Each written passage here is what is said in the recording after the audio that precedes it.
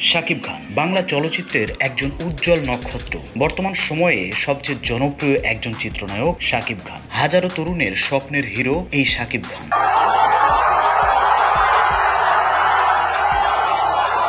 ঢাকায় সিনেমায় যার সবচেয়ে বেশি উপস্থিতি। সারা দেশে যেমন শাকিব খানের কোটি ভক্ত ফেসবুকেও তেমন। কিছুদিন আগেই শাকিব খানের ফেসবুকে তিরিশ লক্ষ মানুষ শাকিব খানকে ফলো করে। এ বিষয়ে শাকিব খান আমাদের বলেন, বাংলাদেশের প্রেক্ষাপটে একজন হিরোর ফেসবুকের মতো জনপ্রিয় অনলাইন মাধ্যমে তিরিশ লক্ষ ফ্যান ফলোয়ার থাকা অনেক বড় ব্যাপার। এজন্য আমি গর্বিত।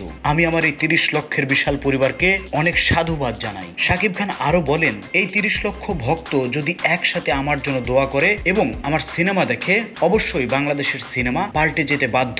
শাকিব খান বর্তমানে মালদ্বীপে নবাব এল এল বির শুটিং এ ব্যস্ত আছেন। চিত্রনায়িকা মাহিকে নিয়ে কিছুদিন আগেই উড়াল দিয়েছেন শাকিব খান। বেশ কয়েক মাস বিরতির পর শুটিং শুরু হয়েছে সিনেমা পাড়ায় এ বিষয়ে শাকিব খান বলেন, অনেকদিন ঘরে বসে থাকতে থাকতে একদম বিরক্ত হয়ে যাচ্ছিলাম। আমি সিনেমা প্রেমী মানুষ। সিনেমার শুটিং করতে না পারলে ভিতরে অস্থিরতা কাজ করে। নতুন সিনেমার শুটিং শুরু করতে পেরে অনেক ভালো লাগছে।